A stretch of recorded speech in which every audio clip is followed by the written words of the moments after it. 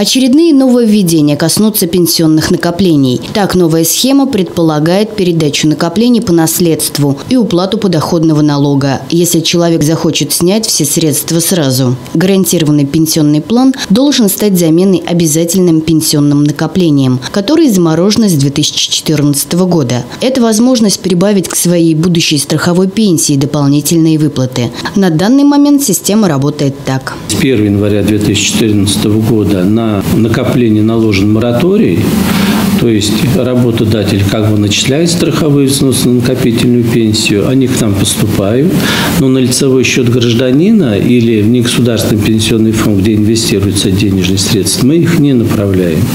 Мы их отдаем нынешним пенсионерам, а эти начисленные взносы относим на формирование страховой пенсии по старости.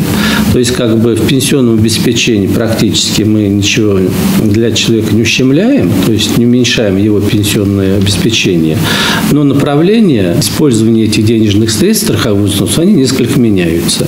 То есть вот эти 6%, которые идут на накопительную пенсию, мы их перенаправляем на страховую, ну и, соответственно, идет на выплату нынешним пенсионерам. В рамках схемы гарантированного пенсионного плана ожидается, что выплаты начнутся либо через 30 лет после начала накоплений, либо при достижении пенсионного возраста. Правительство готовится внести законопроект о гарантированном пенсионном плане в Госдуму. Новая схема должна заработать в 2021 году. Пока утвержденные изменения касаются индексации пенсий.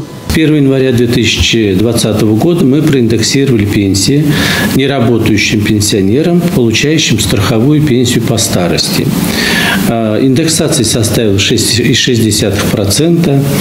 А, индексация прошла вовремя и даже с досрочной доставкой пенсии с учетом новогодних праздников.